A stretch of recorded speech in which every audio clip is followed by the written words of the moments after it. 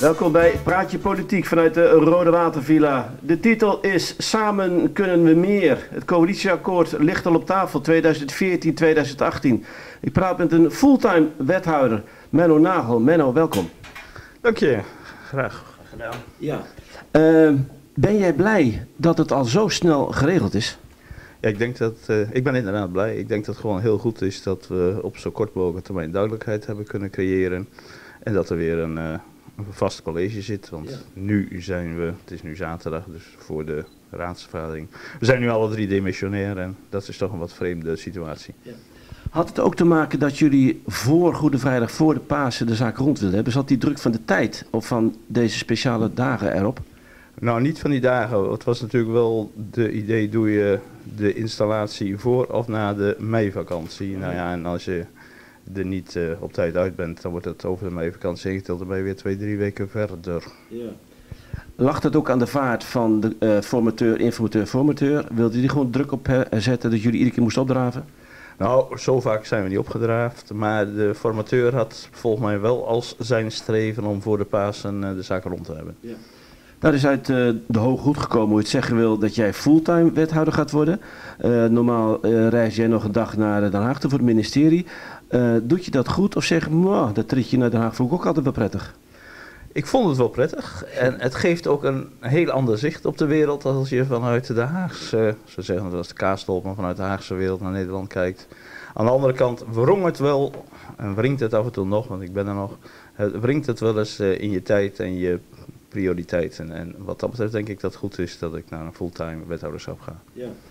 Uh, je zei in een, ik zei al, in een, een sneltreinvaart kunnen we samen meer. Uh, wel iedere keer in een coalitieakkoord zit wordt samen, hè?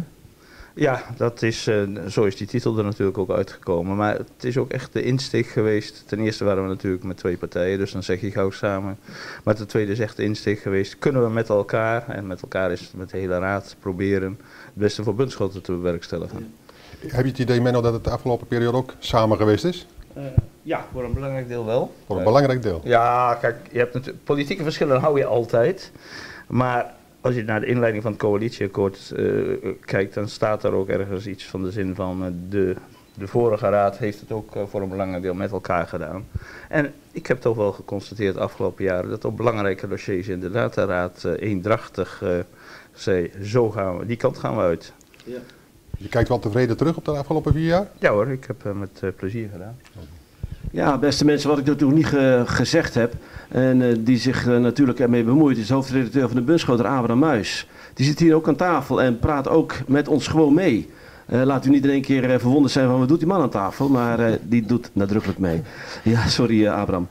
het coalitieakkoord, vier jaar geweest. Ik, ik, zie ook de programmabegroting 2014-2017. leg me even uit hoe al die verhoudingen zijn. Laten we beginnen bij het coalitieakkoord. Dat is nu de richting 2014-2018. Dat klopt, dat is inderdaad de richting. Er zijn natuurlijk onderhandelingen gevoerd vanuit de twee verkiezingsprogramma's van de betrokken partijen. Is nog even gekeken wat andere partijen wilden en of dat uh, ingevlochten kon worden, of voor een deel erin gevlochten kon worden. Dus daarvoor hebben we met elkaar ge geprobeerd iets in elkaar te zetten waarvan we met elkaar zeiden, dat kunnen, daar kunnen we allebei achter staan, daar kunnen we mee vooruit. En daar kunnen we vier jaar mee vooruit. Maar je vindt zoiets niet uit het niets, dus dat is natuurlijk voor een belangrijk deel, wordt er voortgebouwd op zaken die in beweging gezet zijn uh, en die in die programmabegroting staan. Ja. De komst van Willem Heijnen, dat is een, uh, een verrassing. Uh, het is leuk voor hem. hij gaat 0,6 doen. formatie. betekent dat dat als hij wat minder doet, dat jij of Bert Koops wat meer moet doen? Nou ja, ik ga natuurlijk van 0,8 naar 1 FTE, dus 1, naar fulltime. Dus er gaat ook iets van wat voorheen in de portefeuille van Rita zat naar mij toe. En eh, Willem, uh, ja, die gaat inderdaad uh, weer nog iets minder doen dan, Rita. Rita zat op 0,8 en ik ook trouwens. En Willem gaat op 0,6 en hij denkt dat goed te kunnen doen. Ja. Want hij heeft natuurlijk, Abraham schreef het ook al in de Bunschoter, een vervelende periode achter de rug. Maar hij is weer fulltime, althans niet full, maar hij is full inzetbaar. Hij is, zoals ik hem gesproken heb, die, is hij hartstikke goed. Hij heeft een conditie waar ik jaloers op ben. Hij heeft me verteld wat hij daar nog in Zuid-Limburg gefietst heeft. Dan denk ik, nou, doe ik je nog niet na. Dus wat dat betreft, uh, hij ziet het zitten en als ik het zo hoor, is zijn conditie zo dat hij het ook kan, ja. Hoe is, hoe is het met, uh, met jouw fysieke ongemakken? Ja, uh, ik, ik, heb één ongemak en dat hou ik. En dat is denk ik dat ik mijn voeten niet zo soepel kan bewegen. Maar voor de rest gaat het allemaal goed. De hematoloog zegt dat ik voor 100% hersteld ben, dus de, de kwaal is genezen. en voor de rest hoop ik alleen maar dat hij niet terugkomt. Maar ben je daarom blij dat je nu fulltime hier zit en niet meer naar Den Haag? Ja, dat is dus, het, het, het is wel eens makkelijk. Ik heb net al gezegd, je, aan de ene kant heeft het leuk, aan de andere kant wringt het af en toe met je, je tijdspassering. En ja, het was vroeg opstaan en je bent weer niet zo vroeg terug. En soms heb je dan nog een avondvergadering en dan moet je, ga je niet echt in de stress zitten, maar vraag je wel af, zal de trein op tijd rijden? Nee. En daar ben ik vanaf. Ja. Het lijkt me een lekker gevoel. Ik kan er iets meer voorstellen. Uh, nog even over die, eh, die portefeuilleverdeling. Uh, hoe, hoe komt dat nou tot stand? Je hebt daar vier jaar, noem het maar even heel gemakshalve, uh, financiën gedaan. Dat doe je nog steeds. Dat blijft dus gewoon zo doorgaan. Hoe, hoe gaat dat nou? Bij de een wat eraf? geef je aan kistjes aan van, goh, ik zou wel dat willen of dit willen. Hoe gaat zoiets? Nou, inderdaad, zo ongeveer zoals jij het zegt. Iedereen zegt wat hij zelf wil. En dan vervolgens kijk je of je daar een, ik zou bijna zeggen, een soep van kunt koken. Nou, dat lukt in dit geval vrij snel. Uh, Bert wilde graag grotendeels zijn eigen portefeuille houden. Ik eigenlijk ook graag met een iets logische uitbreiding. Ik had de ruimtelijke ordening en nu zit daar bouwen en wonen bij. Dus ik vind dat vrij logische afronding eigenlijk. Nou, Rengersweting is eigenlijk ook een, een, stuk afronding en dat, dat komt erbij. Dus nou, toen zei Bert vanuit zijn portefeuille, cultuur past daar iets minder bij. En economie iets meer, want het is, wordt dus zijn taak vanuit die portefeuille om te proberen mensen uh, vanuit zeg maar, de uitkering, even simpel gesteld, naar de economie, dus naar, aan, het werk te krijgen. Dan heb je contacten met het bedrijfsleven nodig. Dus uh, hij vond een logische uitbouw. Nou, en de burgemeester die wilde de economie wel kwijt, want die wilde toch wat minder en zag toen onze kans gewoon om de cultuur bij te krijgen. Ja, ja. Hoe werkt dat nou, of Abraham? Over Zuiderzee heb je geen discussie, ja? Uh, je, hebt niet, je, hebt niet, gezegd, geef mij dat maar? Uh, ik heb dat niet gezegd, nee. Oh, okay. ik heb dat niet gezegd. Nee, maar al kun je natuurlijk zeggen, Zuiderzee loopt, dat die trein rijdt. Het loopt, ja, maar en het, het, is natuurlijk, het heeft aan de ene kant iets met bouwen te maken en aan de andere kant iets met kuststroken, dus recreatie. En recreatie is bij Willem Heijn en dus uh, nou, vanuit de portefeuille Rita is het daar gebleven. Ja. Is nou zo, dat uh, komt natuurlijk in de raad, hè, het hele coalitieakkoord, ook de portefeuilleverdeling, ook de formatiegetallen. Uh, uh, zit daar nou nog beweging in of zeg je nee, zoals te licht in het coalitieakkoord, dat is het? Nou, ik denk dat het coalitieakkoord inderdaad vaststaat. Dat is iets wat uitonderhandeld is en waarover breedvoerig gesproken is. Het wordt ook niet ter vaststelling aan de raad aangeboden, maar ter kennisneming. Dus de raad kan er kennis van nemen. En die kan er suggesties voor doen. En dan is het, uh, als daar een, een, raadsmeerderheid voor is, om te kijken hoe we daarmee verder gaan. Ja. Dus er zit eigenlijk geen beweging meer in? In het coalitieakkoord zie ik niet veel beweging meer komen. Nee. Wat is voor jou een punt dat je zegt van echt, dat is een score, daar is als CDA, uh, eh, CDA-eur toch mooi in het coalitieakkoord gekomen? Ja, uh, wat erin staat is natuurlijk allemaal van, van, van beide partijen afkomstig. Maar uh, ja, ik denk dat we met elkaar goed hebben uh, bediscussieerd, moeten we aan belastingverhoging denken of niet. Nou, daar is uitgekomen dat we het alleen maar met inflatie verhogen. Ik denk dat dat een punt is wat ook in het CDA-programma stond, dus ja. uh, daar ben ik uh, wel blij mee. Dat, dat is hard, dat is ja, hard Menno. Dat staat erin. Ja, er is één escape en dat ja, is de zorg. Als er echt onvoldoende zorg is, we weten niet wat er op ons afkomt, dan is die escape gemaakt, maar dat is dus ook een hele beperkte. Hmm. en voor de rest... Geen discussie over.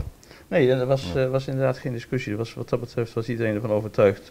Onze OZB zit uh, behoorlijk op niveau. Die hebben we de afgelopen jaren toch verhoogd. Dat is ons ook wel eens voor de voeten geworpen. Ja.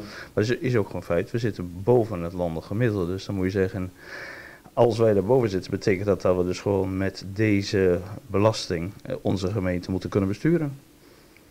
Er komt er heel veel op ons af. Hè. De kerntakendiscussie is al, is al even bezig. Uh, de jeugdzorg 2015. Hoe kijkt deze, dit coalitieakkoord daar naartoe? Ja, dat is uh, een beetje moeilijk, met name wat, wat op ons afkomt, want de Kamer is nog steeds aan het onderhandelen. Of het onderhandelen, aan het bespreken. De wetten zijn er nog niet, dus je weet niet precies hoe het op je afkomt. En wat dat betreft moet je nieuws gewoon uit de krant halen. En dan lees je elke keer dat er weer gesproken wordt, dat er weer wat geld bij komt, dat er toch nog weer iets afgaat of dat het toch nog weer iets anders wordt. Ja, die wereld is zo in beweging. We hebben daar zo goed mogelijk op proberen te anticiperen. En van die optiek denk ik dat het ook heel goed is dat Bert Koops uh, die portefeuille blijft houden, want die zit daar goed in.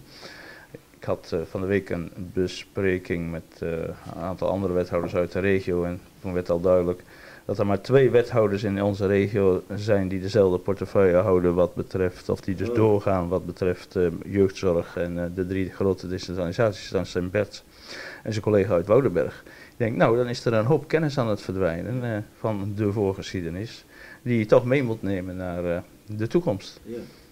Een punt uh, wat het CDA ook belangrijk vond is het pontje van Eemdijk. Dat, dat, laten we zeggen, dat blijft gewoon varen. was dat een, een ingewikkelde onderhandeling of was het eigenlijk een oh-ja-situatie? nee, dat was een zwaar punt. Ja. In, in welke vorm dan? Nou, gewoon, het, het het CDA-programma zou het uh, opgedoekt kunnen worden. Ja. ChristenUnie had erin staan dat het uh, bleef varen. Nou ja, je hebt gelezen wat eruit komt. En wij waren daar niet zo direct van overtuigd. Wordt het dan nog een strijd in de raad? Want uiteindelijk hebben jullie de royale meerderheid als uh, college, of als coalitie. Nou, ik denk dat de strijd gestreden is, want volgens mij was de CDA de enige partij die zei, we kunnen deze antiquiteit wel in het museum zetten. En uh, waren bijna alle andere partijen vrij stellig ervan dat het moest blijven varen. Ja.